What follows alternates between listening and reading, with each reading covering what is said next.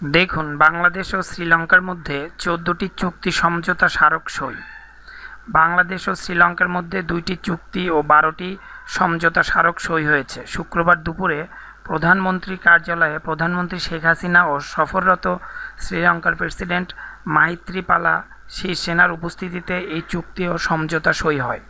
এ সময় উভয় দেশের সংশ্লিষ্ট মন্ত্রী ও ঊর্ধ্বতন কর্মকর্তারা উপস্থিত ছিলেন। এর আগে শুক্রবার সকালে প্রধানমন্ত্রী কার্যালয়ে পৌঁছান শ্রীলঙ্কার প্রেসিডেন্ট। এ সময় তাকে ফুল দিয়ে স্বাগত জানান প্রধানমন্ত্রী শেখ হাসিনা। পরে শ্রীলঙ্কার প্রেসিডেন্টের সঙ্গে একান্ত বৈঠকে বসেন প্রধানমন্ত্রী। এরপর উভয়ের সঙ্গে দ্বিপাক্ষিক বৈঠক অনুষ্ঠিত হয়। এ সময় দুই দেশের উচ্চপদস্থ কর্মকর্তারা উপস্থিত ছিলেন। বৈঠকের পর এক অনুষ্ঠানে দু দেশের মধ্যে দশটিরও বেশি চুক্তি ও সমঝোতা স্মারক সই হওয়ার কথা রয়েছে।